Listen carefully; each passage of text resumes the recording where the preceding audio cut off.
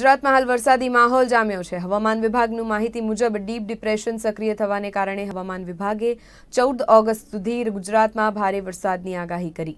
ગુજરાતમાં સાર્વત્રિક વરસાદ વરસી રહ્યો છે. અસહ્ય બફારા બાદ વરસાદનું આગમન થવાથી વાતાવરણમાં ઠંડક પ્રસરી. જેને લઈ બફારા અને ઉકળાટથી પરેશાન સુરતીઓને ગરમીમાંથી રાહત મળી. તો હવામાન ખાતાની આગાહી મુજબ, અમદાવાદ સહિતના રાજ્યના તમામ વિસ્તારોમાં અતિભારે વરસાદ વરસી શકે, જેમાં સુરત, ડાંગ, નવસારી, વલસાડ, તાપી, દમણ, સેલવાસ, દાદરાનગર, હવેલી, અમદાવાદ, વડોદરા, ગાંધીનગર, અમરેલી, ભાવનગરમાં અતિભારે વરસાદની આગાહી કરવામાં આવી છે.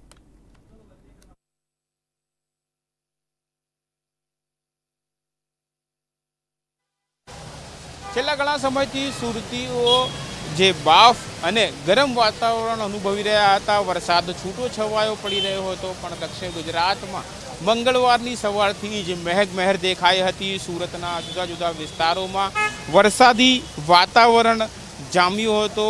વહેલી સવારે જે ઓફિસ જતા લોકોને પણ વરસાદના કારણે ક્યાંક ને ક્યાંક તકલીફો પડી રહી હતી.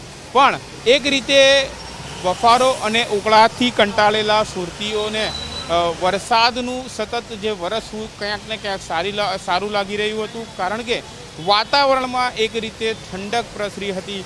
દક્ષિણ ગુજરાતમાં હાલ દરેક જે છે, જિલ્લાઓમાં પણ સતત વરસાદ વરસી રહ્યો છે.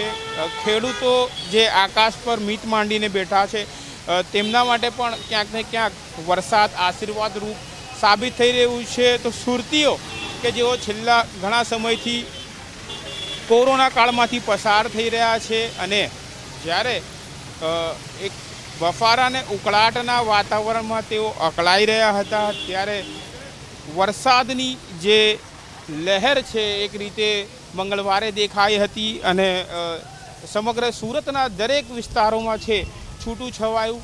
દરેક વરસાદ જે હાલ સુધી વરસી રહ્યું હતું તે મંગળવારે મન મૂકીને વરસાદ વરસ્યું હતું તેવું કહી શકાય.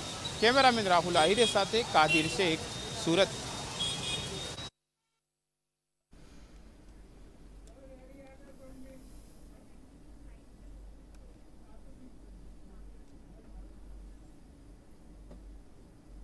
મન હોય તો માળવે જવાય આ કહેવતને સાર્થક કરી બતાવી છે આણંદની એક